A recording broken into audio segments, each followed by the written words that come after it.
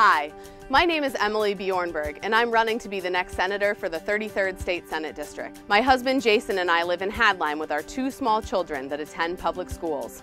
Jason is an Iraq War veteran, and while he served in uniform overseas, I took my first job running an AIDS clinic in downtown Johannesburg, South Africa. Currently, I work on issues of social justice with the youth and families of the Deep River Congregational Church. For me, this election is about building sustainable growth through support for small business. It's about holding the line on property tax by tailoring education mandates to actually improve our schools rather than simply driving up costs. It's about putting our returning veterans to work and protecting our natural environment and helping our seniors on fixed incomes. I love the lower Connecticut River Valley, and I want to be sure it is just as strong 160 years from now as it was when my family first settled here. And I can tell you with certainty that no one will fight harder for our small towns. I'm Emily Bjornberg, and I approve this message, and I ask for your vote on November 4th.